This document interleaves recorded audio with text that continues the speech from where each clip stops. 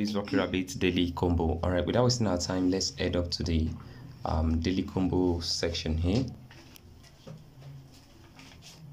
Okay, I'll click on this mine tab at the bottom part here.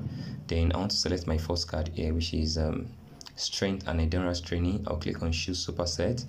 Then I'll head back to the um, Fighters slash Claim section and claim the next one, which is this one here.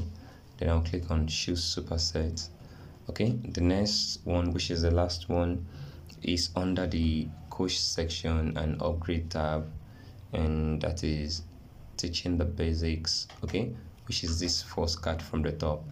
So with this now when i click on check cards i have my 2 million rewards for today.